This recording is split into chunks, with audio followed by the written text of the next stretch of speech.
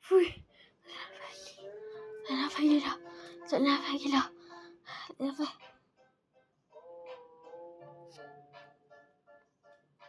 Ten, ten, ten, ten, ten, ten. Soy bueno para saber. Ay, salida. Ten la. Uy. Ten.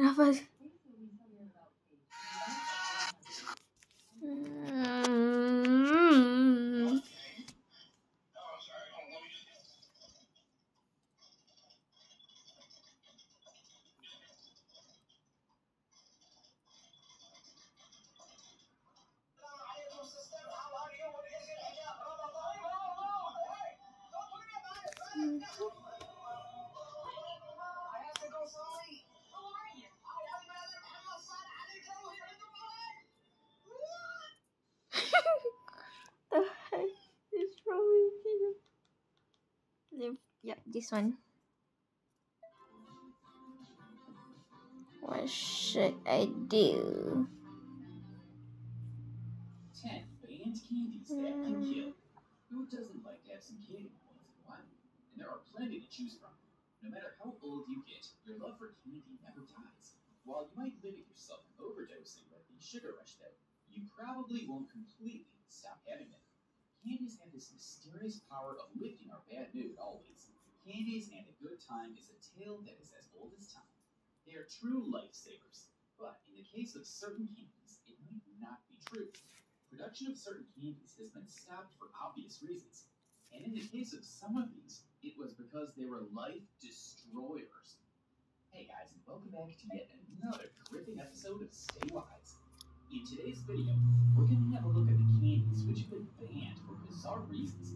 Don't forget to hit the like button and subscribe to our channel if you haven't yet. Alright, let's dive in. On number 10, we have Exploding Gum. Candy companies are desperately trying to come up with something new every season, and with a new ray of hope for their sales to skyrocket. One such incident was when a Ukrainian chemistry student in the year 2009, after he supercharged his bubble gum that had devastating results.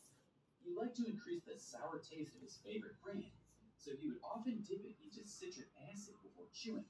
But soon one day, he used the wrong powder and instead dipped it into explosives. All it took was one chew, and his gum exploded in his mouth. Most of the lower part of his face was blown to pieces, and he died soon after. This insane recipe is off the hook and won't be reaching any of the candy shops anytime soon. Number 9. Roadkill Gummy Candy. There are different kinds of gummy candy available in the stores. In the year 2004, Kraft thought that they had come up with the idea which would stand out among all the gummy candy. Each one of them was made in the shape of chickens, squirrels, and snakes with the marks of tire tracks on them. They ended production of the treats by the following year due to a series of campaigns by animal activists who claimed that they were promoting the idea of injuring animals. They further added that the product sent a message to children that it was okay to harm animals. Kraft was forced to rethink and relent their strategy. Number 8. Candy cigarettes. As the name suggests, they resembled a box of cigarettes that were made from sugar gum or chocolate that was wrapped in paper in a pack. They first began to be sold in the late 1800s. Some of its varieties even included powdered sugar that you could blow through the candy stick to simulate the smoke. They began to be seen as a way to desensitize children to the idea of smoking. However, for a time, cigarette manufacturers even helped with the production of the candy and allowed their branding to be used on packets. The medical organizations became more aware of the dangers of smoking.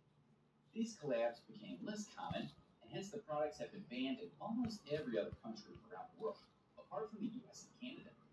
Studies have shown that a percentage of smokers who had candy cigarettes when they were younger was higher than people who didn't smoke. So the link between the two has been proved to be significant. What seems like an innocent children's treat is probably responsible for the most deaths of any candy ever. It's no surprise that scarce places now allow these to be sold. Number seven, free candy. Who doesn't like things that are free of cost? We all run to the shops when we hear about big sales and discounts in markets. Who are we kidding? Free candy is one of those candies which are free, duh. But in Madrid, Spain, the tradition of giving sweet treats for free has been banned.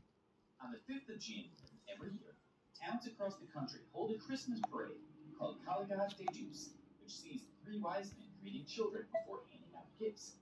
These men are taken through the streets to a church in a carriage, and part of the tradition involves throwing candy from the carriage into the crowds.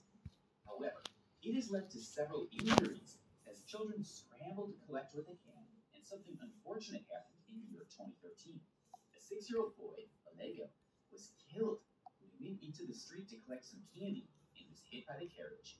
Rules are now in place to prevent such tragedies from ever happening again.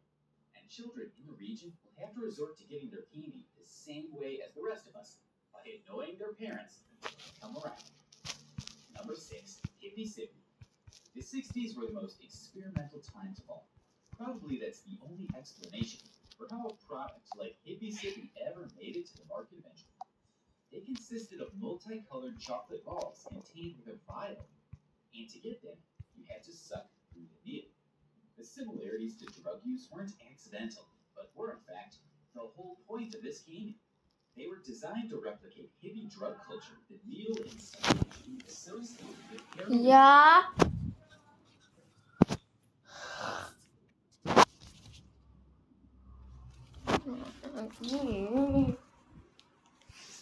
and colored balls representing uppers and downers. To make things even worse, they came up with slogans that say, I'll try anything, and we sell happiness. Needless to say, they were pulled from the shelves a less than a year after being released, as they were spreading the wrong message to the children. Using drugs is fun. Ya. So Alah kejap lah.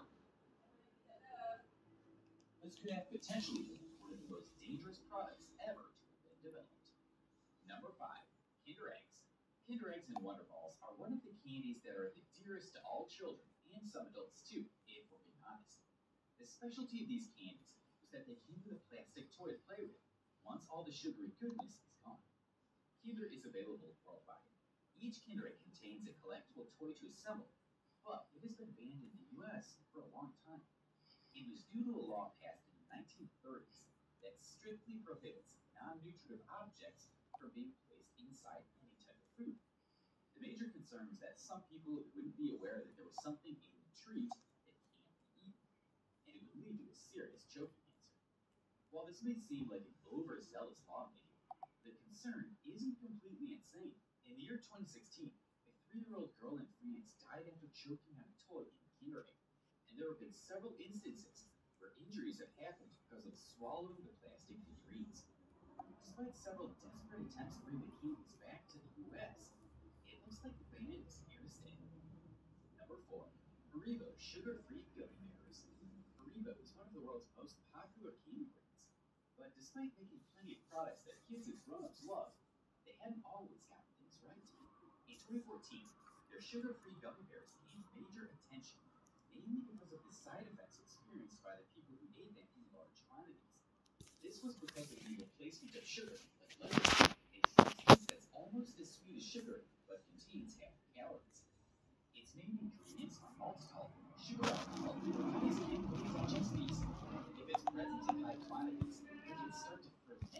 Okay.